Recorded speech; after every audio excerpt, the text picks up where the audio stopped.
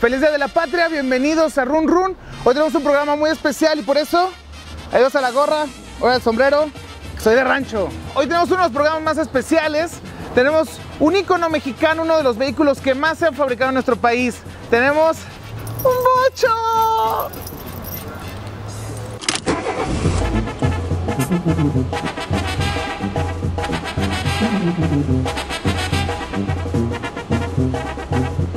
Bueno, ahora sí, es momento de darle flow.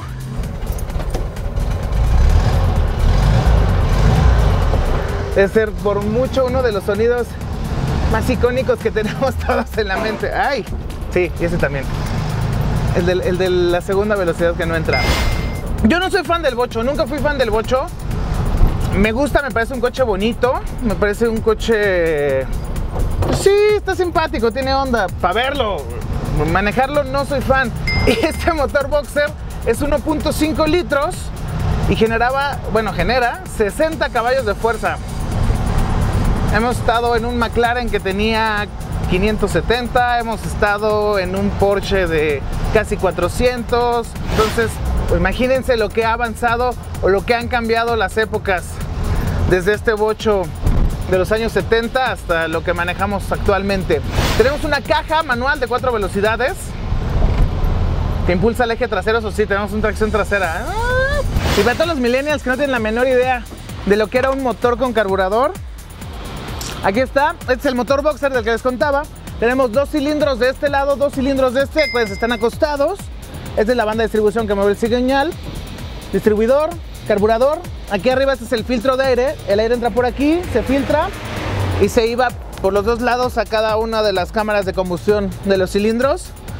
Y en gran parte el sonido este, de toda la vida del bocho, es gracias a este motor, que además no tiene radiador, es enfriado por aire. Fue algo que hicieron los alemanes porque les, les funcionaba mucho mejor en cualquier, en cualquier clima. Funcionaba mucho mejor que tener anticongelante, estas cosas que obviamente en el 38 que inventaron esa parte no existía.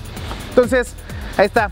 Esto era un motor, no la tapita esa que vemos ahí que a este sí le puedes hacer cosas, le puedes cambiar, lo puedes arreglar. Le podías quitar a tu mamá las medias y ponerlas de banda de distribución. Es real.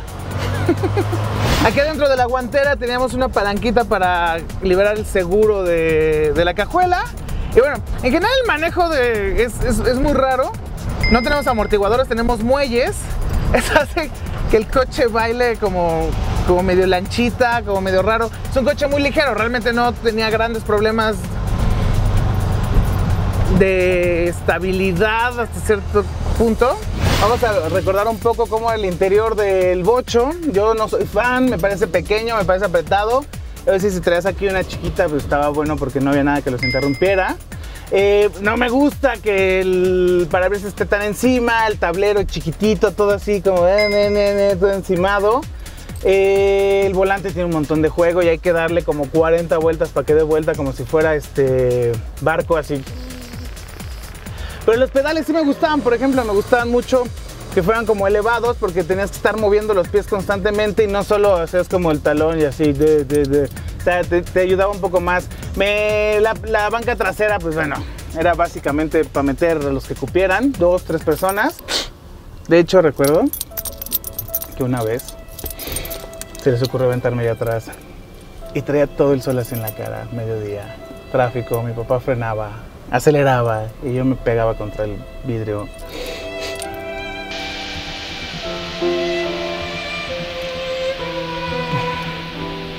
Sí, yo también sufrí en un boche.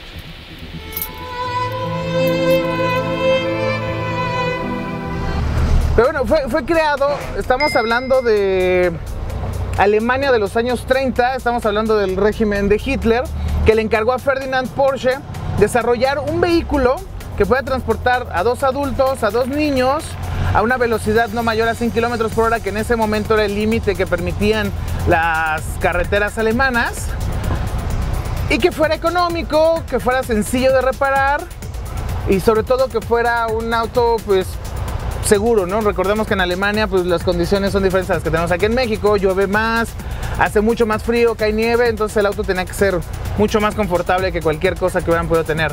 Y así nació en 1938 el Bocho, que llegó a México en 1954. Al final de la producción, que terminó el 30 de junio de, 2003, este auto había alcanzado 21 millones de unidades vendidas en el mundo. Y de esas, muchas, muchas, muchas, muchas siguen en México. Hoy son, hoy son un icono y hoy hay gente que paga bastante dinero por un vehículo como este cuando antes lo compramos por 5, 7 mil, 10 mil pesos. Hoy hay quien te llega a ofrecer 30, 40, 50 mil pesos por tu bochito.